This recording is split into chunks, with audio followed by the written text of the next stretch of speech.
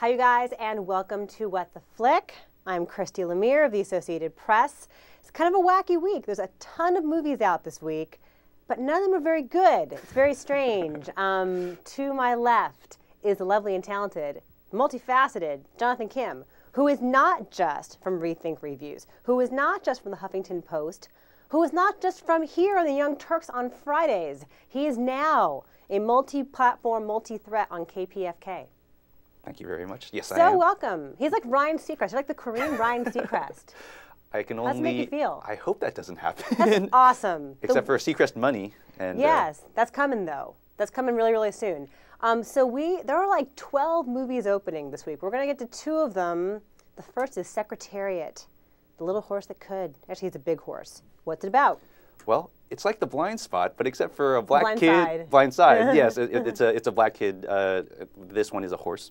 It's the horse that captured America's heart and won the Triple Crown, and is the story of Penny Chenery, uh, played by Diane by um, by Diane Lane, who uh, who takes over ownership of the horse and the family stable.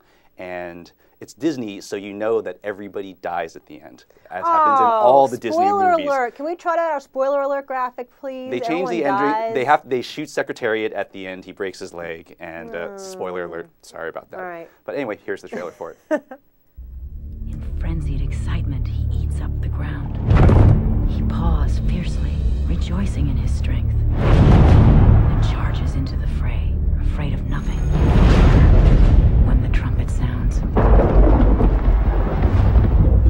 Father's farm has been losing money for years. To run a horse breeding operation, you need a certain touch. You're a housewife. I feel like I could make something work. Miss, this is a gentleman's club, miss. I need a good trainer just to get things stabilized. You need a Lucien Laurin. Dresses like Superfly. He's trying to retire.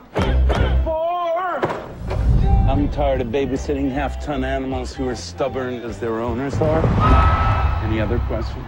How much did you spend on that hat? Well, Mr. Laurin, what do you think? I think he eats too much. He lays against the back of that starting gate like he's in the Caribbean. Secretariat is not afraid, and neither am I. Horse racing is unforgiving for housewives. It's like every other multi-million dollar gamble we housewives make every day.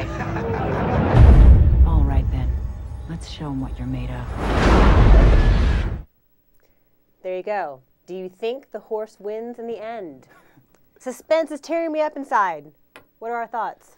well, uh, the horse racing parts are fun because horse racing is fun to watch. And they have there's a few scenes where they put cameras like on the horses and you're galloping along with them, and that's fun. But the rest of the movie, it's okay. I mean, like it, you everyone knows what happens, and I mean, for me, it's just hard to get excited about it because it's like horse racing is all about the ultra rich trying to make more money from horses. And in this, like they keep talking, they talk about like, oh, she saves her family because she, I mean, essentially her dad dies and owns this horse ranch, and where they or a horse breeding uh, facility, and he had, there's, owes a lot of money and back taxes or whatever. So she takes it over, even though it's not considered her role to do that, and uh, you know, kind of puts everything on this on this great horse called Secretariat, and but in the end, it's like saves her family from what, like a life in the upper middle class.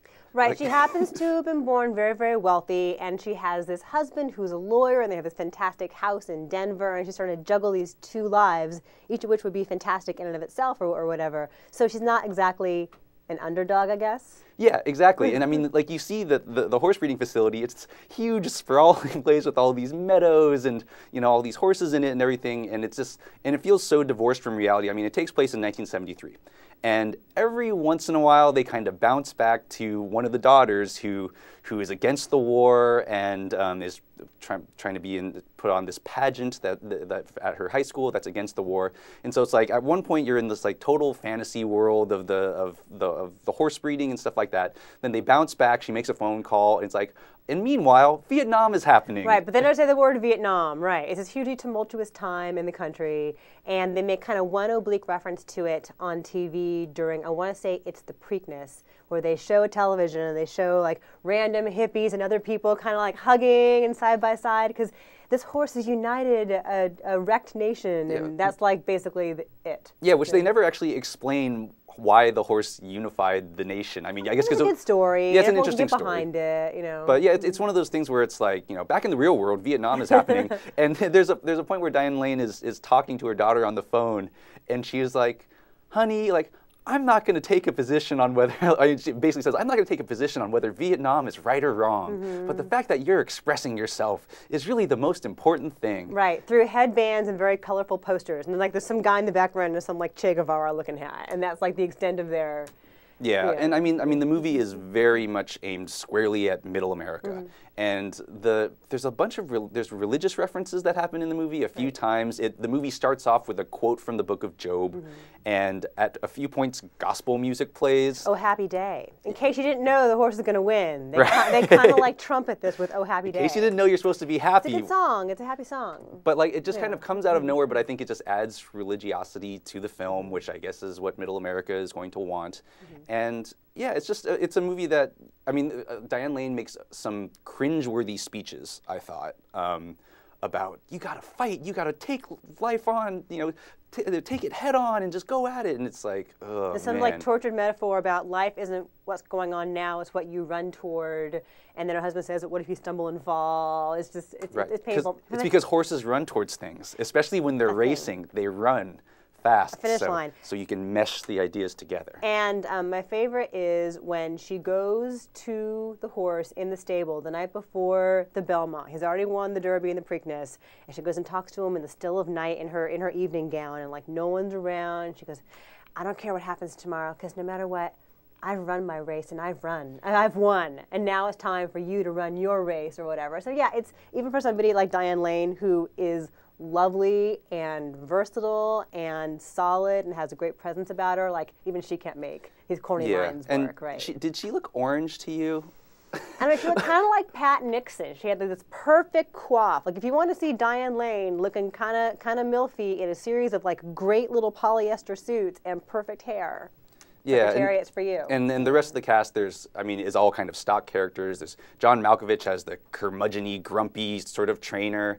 There's, um, let's see, what, what's her name? Uh, Margot Martindale as sort of the, the, the sort of sassy, kind of matronly type. And then there's the there's the friendly black guy, uh, Nelsan Ellis, Yes. who He's uh, magical, too. Yes, he, he is really magical. Uh, Yeah. He at a point they- say he talks to horses through his hands by washing and brushing them.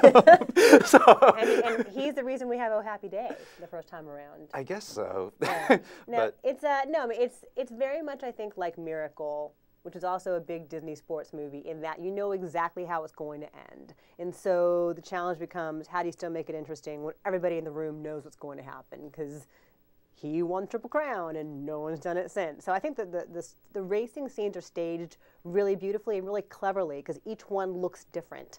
Like one is like you're on the horse. One is the family watching it on TV. They're watching the I thought that was- that was a kind of a cool idea That was to have them clever, watch it on TV. A different perspective. And then the third, I mean, it's it's actually quite breathtaking because he wins by like 31 lengths or whatever. But the way they sort of stop for a moment and just like let the hooves make the noise and it's it's it's technically well done. It's very I mean, creamy as, it, and as golden. it should be. I right. mean, it's a Disney mm-hmm. expensive movie. They had no reason not to. I mean, how can you mess up horse racing? You know, in terms of mm-hmm. making that interesting. Like, I don't give a damn about horse racing, but I watch the Kentucky Derby every year. Right. You know, I mean, for the hats, if nothing else. yeah, I don't watch the three hours that precedes the minute and a half race, but I mean, to actually watch the race is kind of fun, you know. And you know, I've been to the Hollywood racetrack and bet on some horses, and that's just like a fun thing to do. But I mean, yeah, it's. In, in the end, I just I, it's of uh, the movie's of dubious value. Yeah, people in my screening room were cheering, There, you know what? clapping with, and cheering. Same with me. I think they were plants though. I think they might have been like horsey plants because they weren't people I usually see at screening rooms. that's an interest. That's an interesting idea. yeah, maybe people were like inviting like their grandparents or their their uncles Yeah. and stuff like that, and just like, hey, you want to feel good? You Want to see happiness? you know, happiness and no darkness at all for a second. And but and also, I mean, I think the whole thing about her family. She has four kids, and she just kind of spends most of the movie kind of away from them. And I suppose that's supposed to make a statement about her independence. But she does strand her husband with four kids. Right. God forbid the man does a load of laundry in his lifetime. No, but it, it must. It was a different time in that. Right, yes, She that's true. does. You know, what, what seems quaint and archaic now, the idea of her like being a strong woman in a man's world. I mean, it was Sure. kind of revolutionary, I guess, for that that insular kind of man's man world. anyway. Right. I mean, the, the argument in terms of like, but like the family needs you happens for like two seconds, and then every but then everything works out fine. Where all the kids are all happy that she's doing it. No one misses her for a second, and you know it just seemed a little weird to Yeah, me. But and the husband, who is, is Dylan Walsh from Nip Tuck, like he is singularly unimpressed by the fact that she is so determined and that she's taking on a traditionally male role. Um, he's pissed because, yeah, he's got to figure out how to get dinner on the table and do laundry. But also, I mean, Yeah. he's a lawyer. I mean, he's got a job too. He I mean, so I don't know. And, and She's got to stay in the home. That's what I'm does, saying. right, barefoot. that was my big flaw in the movie. She, she didn't stay at home. Let's do But- numbers. Um, I gave it a five. I mean, you could see it, you could not see it. If you see it, it'll be okay. You're not going to be offended or upset by it. Like it's all right, you know. Like, like you'll have an okay time, or you could see something else. Whatever. Five. I also give it a five um, for pretty much the same reasons. It's beautiful, it's very golden and creamy, and the racing scenes are good, but yeah, it's just cheesy, corny, hacky, heavy handed. So, for those of you doing math at home, if I give it a five and John gives it a five, our average is Ten. it's No. 10 divided by 2, carry the 4. It's a 5. It's math for journalists. Okay.